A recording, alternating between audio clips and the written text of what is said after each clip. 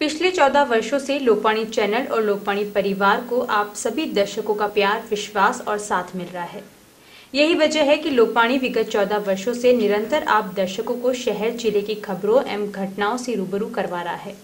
लोकवाणी अपनी TV channel के अलावा यूट्यूब चैनल, फेसबुक एवं लोकवाणी डॉट टीवी वेबसाइट से भी सभी वर्ग के दर्शकों से जुड़ा हुआ है। आप सभी दर्शकों की इच्छा और आकांक्षा के अनुरूप अब लोकवाणी एप्लीकेशन प्लेटफॉर्म पर भी अपने कदम रख रहा है और इसी कड़ी में शनिवार 24 अक्टूबर को लोकवाणी परिवार आपका अपना लोकवाणी ऐप लॉन्च कर रहा है। इस ऐप के द्वारा हमारे दर्शक अपनी समस्याओं से संबंधित प्रश्न भी पूछकर उन प्रश्नों के संभावित समाधान भी प्राप्त कर सकते हैं।